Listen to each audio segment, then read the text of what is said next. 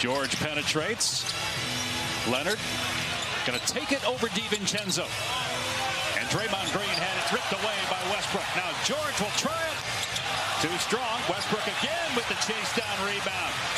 And the third time's the charm with George drilling it. But Russell Westbrook did it all there with great hustle keeping the play.